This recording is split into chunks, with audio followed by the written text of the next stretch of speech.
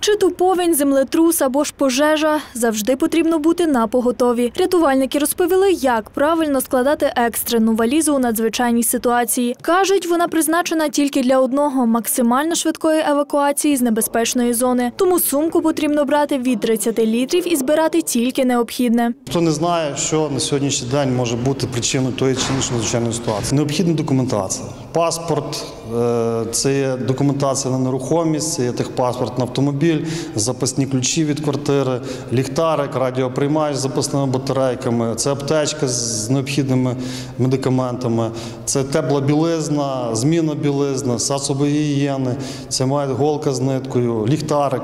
Якщо військові знають про екстрену валізу все і завжди на поготові, то прості мешканці з обов'язкових речей називають тільки одиниці. В першу чергу документи треба мати на поготові документи, і гроші, ну і речі. Документи, косметику.